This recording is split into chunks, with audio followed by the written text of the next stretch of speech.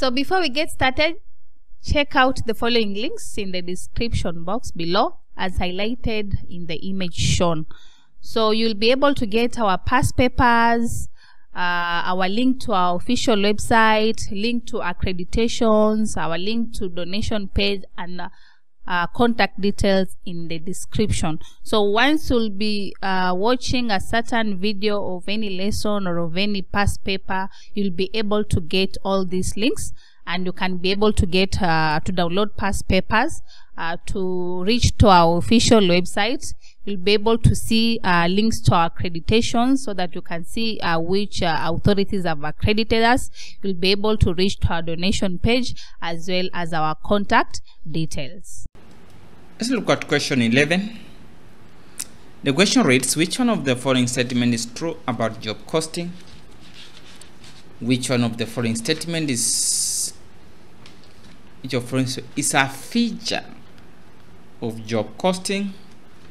We say A is associated with continuous production of large volume of cost, low cost unit, wrong. Productions carried out in accordance with the wishes of what? Of customer. The job costings we are preparing basing on the demand or what the customer has prescribed. That's why we segregate job 1, job 2, job 3, then we combine them in a batch costing.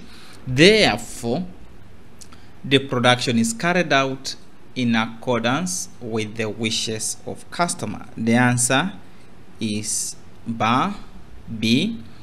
Then we are told that I use the, the, the informations below to answer question 12 to 15.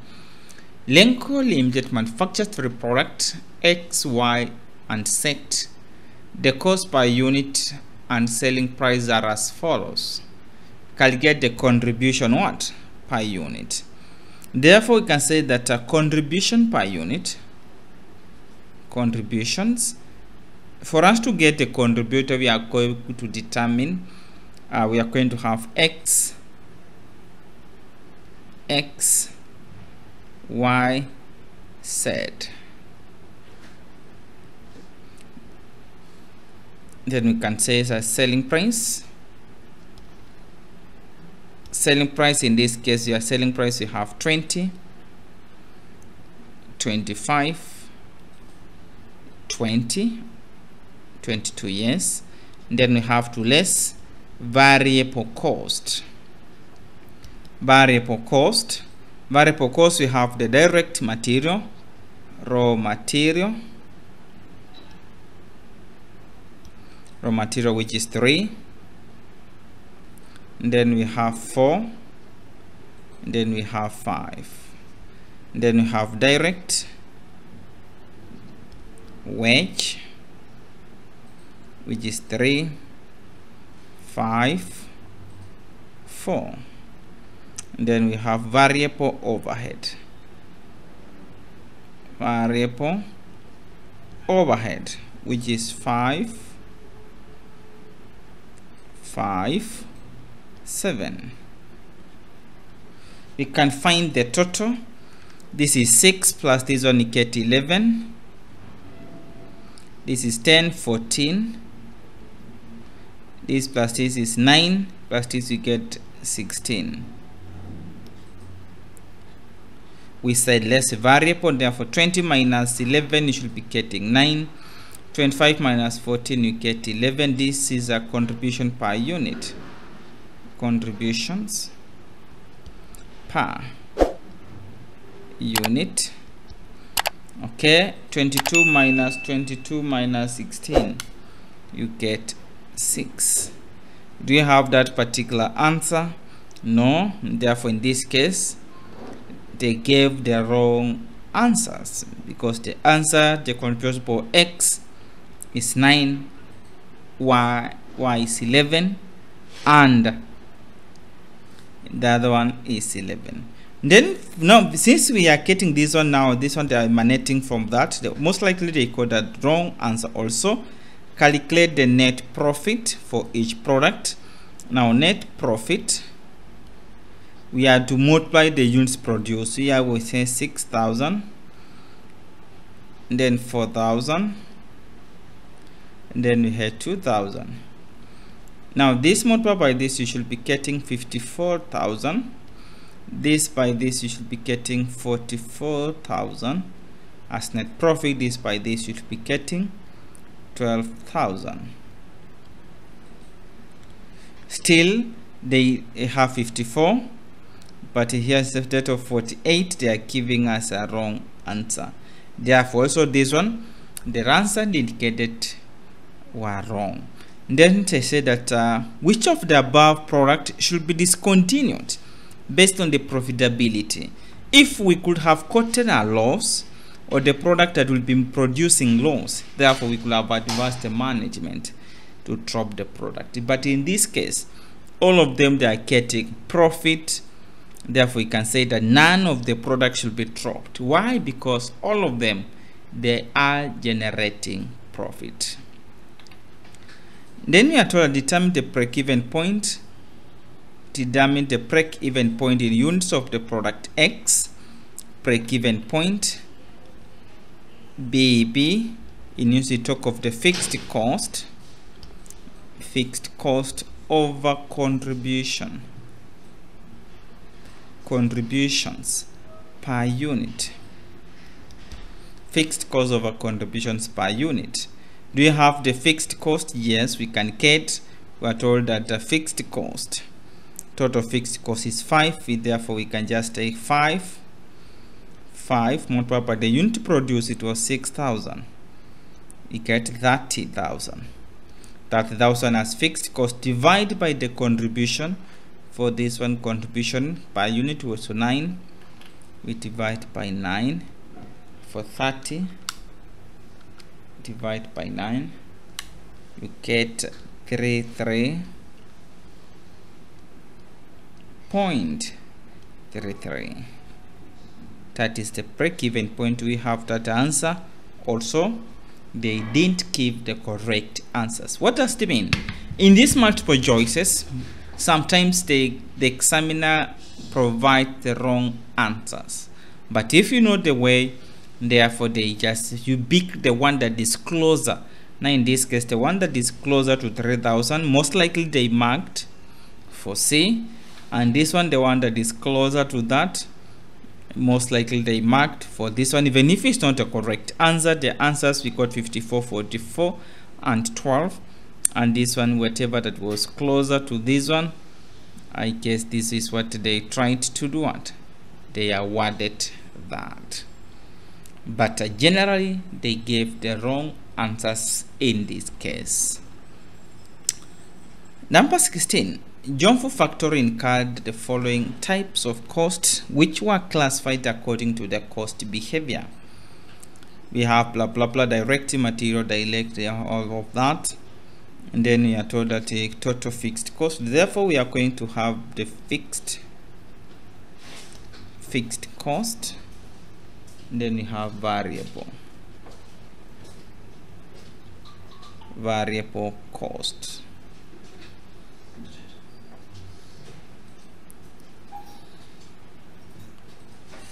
we can start with direct material. Direct material they are in thousands.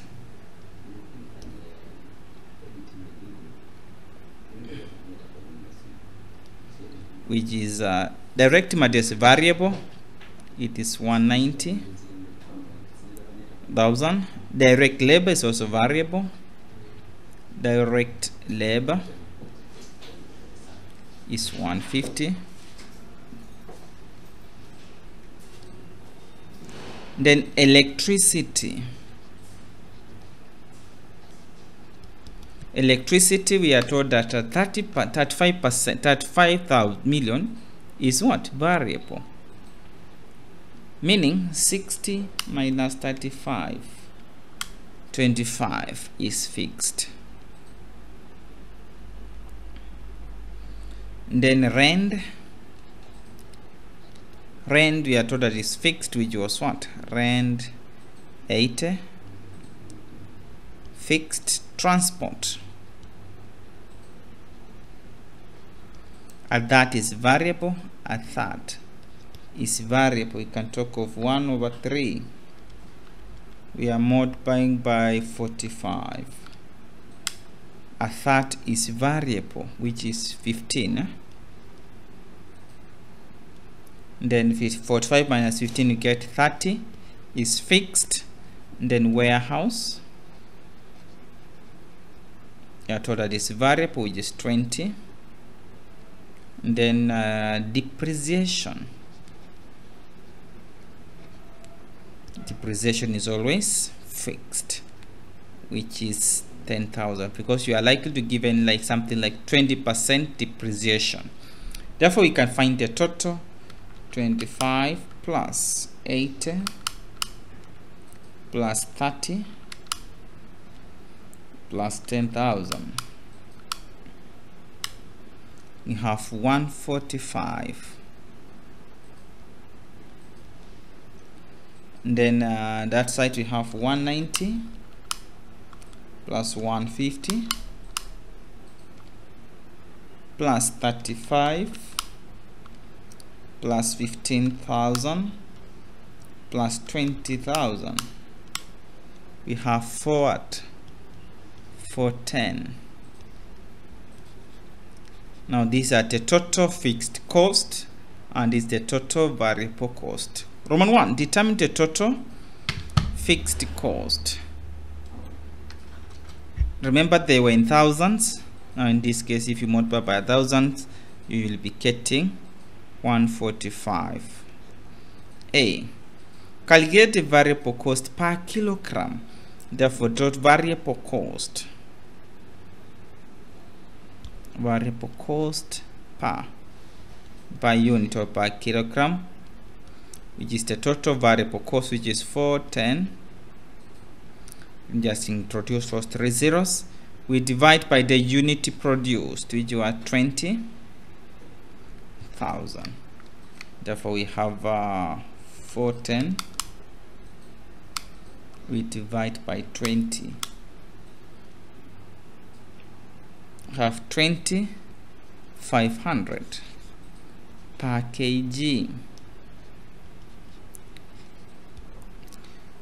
If you look keenly in our answers they also didn't give us the correct answer but the correct answer should be 2500 now when we formulate the equation y is equal to a plus bx y a is always the fixed cost meaning it's going to be y is equal to y is equal to a with your fixed cost we got something 145 plus b which is 2500 we multiply by x but now we are told that if x is that which is 145 plus multiplied by 10,000 what you get? Just 20.5 multiplied by 10,000 the answer will add to 145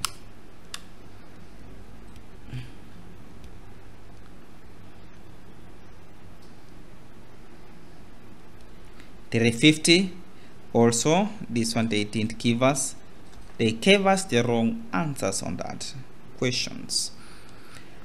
Then 19 which one of the following is an which is an in is not an inventory cost carrying cost correct? Cost of whatever set setup cost yes but sunk cost is irrelevant or the past cost.